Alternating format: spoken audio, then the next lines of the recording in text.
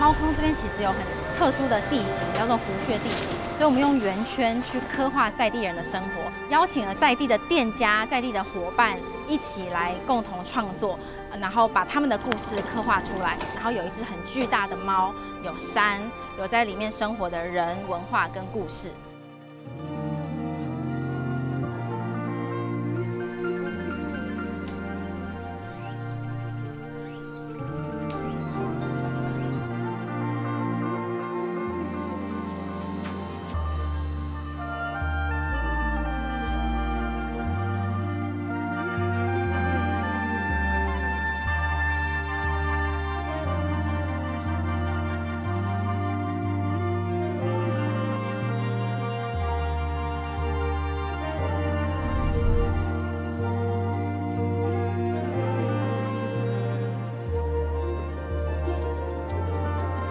这次在这个猫空这边做作品，尤尤其它是在指南宫的旁边，所以我自然而然就会想要用山